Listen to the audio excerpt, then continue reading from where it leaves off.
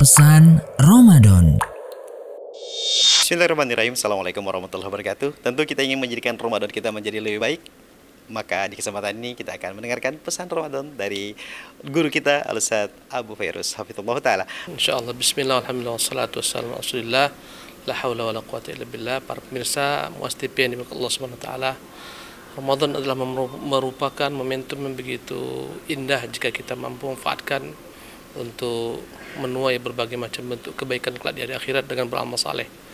Dan tentunya Nabi kita yang mulia SAW ketika naik ke atas mimbar maka dia mengucapkan amin, amin, amin. Maka para sahabat heran dan bertanya Rasulullah, engkau ucapkan amin. Amin, amin apa di balik hal itu semua?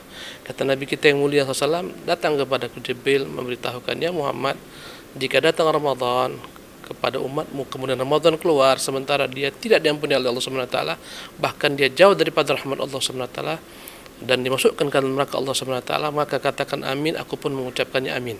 Begitulah kira-kira makna hadis.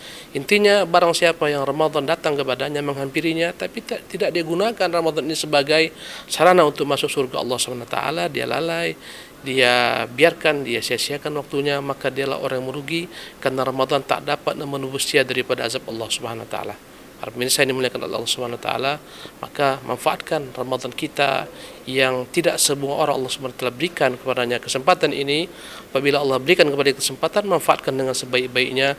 Semoga Allah Subhanahu wa taala menerima amal kita sebagaimana Nabi kita yang mulia SAW mengatakan man sama Ramadhana imanan wa ihtisaban ghufir lahu ma taqaddama min dhanbi. Barang siapa yang berpuasa Ramadan karena iman dan karena mengharapkan ganjaran dari Allah Subhanahu wa taala niscaya akan diampunkan dosa-dosanya lampau dan tentunya Ramadan adalah merupakan waktu yang paling tepat untuk kita memperbanyak bermunajat di malam hari qiyamul lail melaksanakan salat tarawih bersama kaum muslimin. Kata Nabi yang mulia, "Man qama Ramadhana imanan wa ihtisaban, ghufir lahu ma taqaddama min dhanbi." Barang siapa yang berpuasa Ramadan, barang siapa yang mengerjakan qiyamul lail di malam-malam Ramadan karena iman dan mengharapkan ganjaran daripada Allah Subhanahu wa taala, niscaya akan diampunkan dosa-dosanya yang telah lampau. Terakhir, para pemirsa yang dimiliki Allah Subhanahu wa taala, Semoga Ramadan ini akan menambah bekal kita menjadi lebih banyak daripada sebelumnya. Pernah suatu ketika Talha bin Ubaidillah melihat ada dua orang sahabat yang masuk Islam bersamaan, tetapi yang satu lebih dahulu wafat. Ya, satu tahun sebelum sahabatnya mati dalam keadaan jihad fisabilillah. Maka Talha melihat dalam tidurnya ya bahwasanya kedua sahabatnya tersebut ada di pintu surga. Namun Tolha merasa aneh ketika melihat yang masuk surga terlebih dahulu adalah sahabatnya yang mati dalam keadaan sakit setahun setelah dia mati.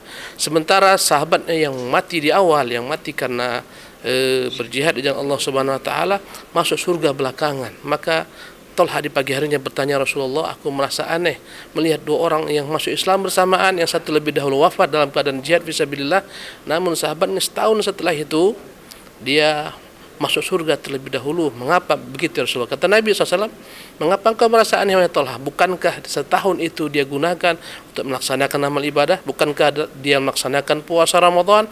Bukankah dia sholat sejumlah rakaat dan semacamnya? Ya, maka jarak antara dia dan sahabat bagaikan antara jarak langit dan bumi.